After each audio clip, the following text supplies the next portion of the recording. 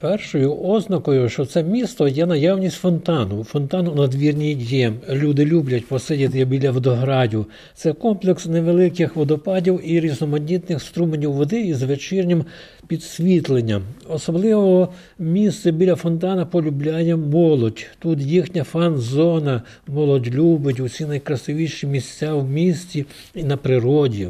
Наша молодь така ж, як і всюди по світі. Всюди, де вона перебуває, молодь все руйнує, все перетворює в смітник. Робиться це принципово, як виклик дорослим і подвиг в честь дівчат. Принцип нашого життя такий: дорослі будують, діти руйнують. Села мають, починаючи від порога своєї квартири, під'їзди, поштові скриньки і далі в парках, на стадіоні, на вулицях і в центрі міста. Дорослі за дітьми і підлітками прибирають, не розгинаючи спини. Комунальні служби працюють від зорі, і коли населення виходить на вулиці, всюди е, чистенько.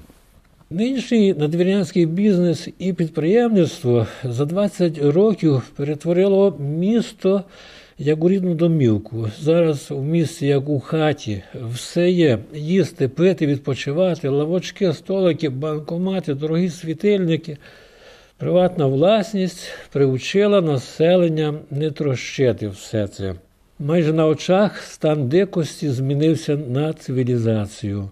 Приватний бізнес, підприємництво, торгівля привчили людей до гарної культури спілкування. Людям стало зручно звертатись один до одного у побуті пан і пані.